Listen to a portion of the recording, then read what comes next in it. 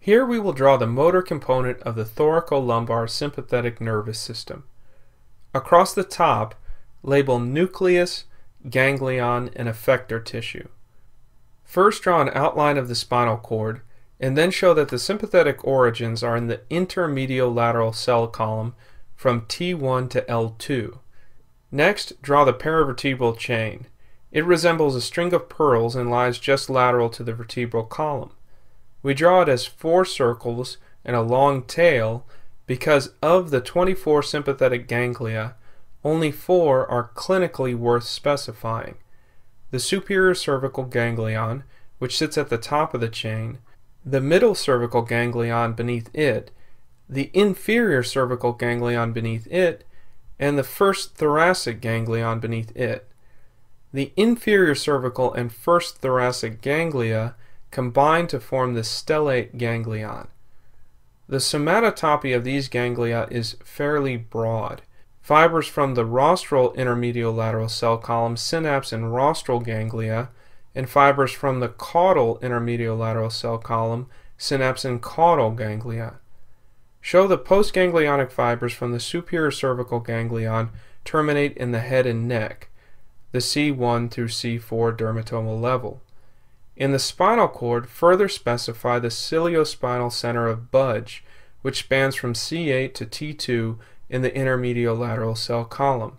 Show supraspinal input from the posterolateral hypothalamus descend onto the ciliospinal center of Budge.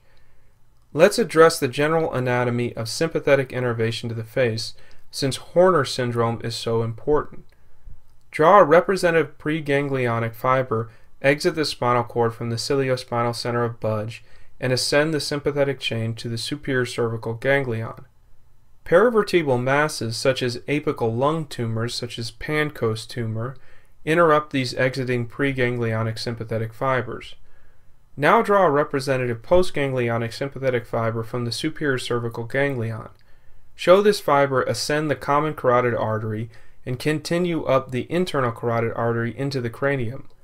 A dissection of either the common or internal carotid arteries will cause Horner syndrome. Then indicate the postganglionic fibers from the middle cervical and stellate ganglia terminate in the arm. Within the sympathetic system, both divergence and convergence of preganglionic sympathetic fibers occur. Indicate that divergence is the multilevel synapses of different preganglionic fibers originated from the same spinal level.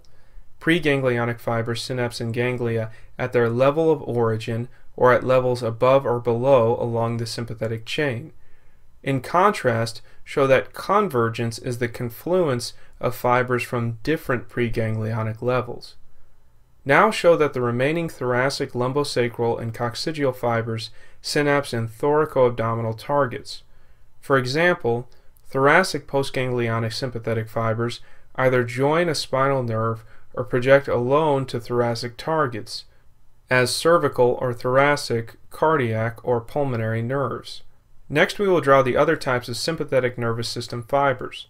First draw a bundle of preganglionic sympathetic fibers circumventing the paravertebral ganglia and synapsing directly in the adrenal gland.